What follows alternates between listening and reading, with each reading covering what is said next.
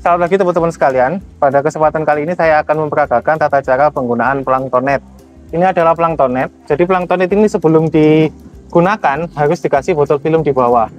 Fungsi dari botol film di bawah ini adalah untuk menampung nanti sampel plankton yang sudah tersaring. Caranya cukup sederhana dan sangat mudah.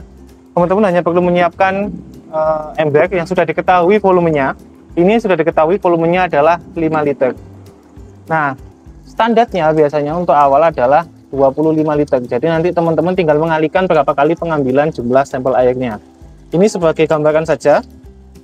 Ketika kita sudah mendapatkan sampel airnya, terus kita tuang secara perlahan dan planktonetnya digoyang-goyangkan seperti ini.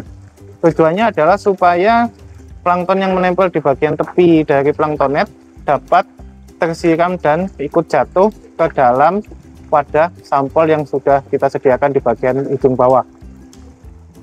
Hal ini dilakukan secara terus-menerus sesuai dengan jumlah air sampel yang dibutuhkan. Ini sebagai contoh saya ambil lagi satu kali lagi. Kemudian kita tuang lagi. Nah. Ketika sudah selesai, nanti kita bisa ambil botol film yang ada di ujung.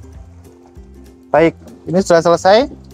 Kita bisa ambil botol film yang ada di bagian ujung sini untuk kemudian ditetesi dengan lugol sebagai pengawet. Begitulah tata cara penggunaan planktonet. Terima kasih.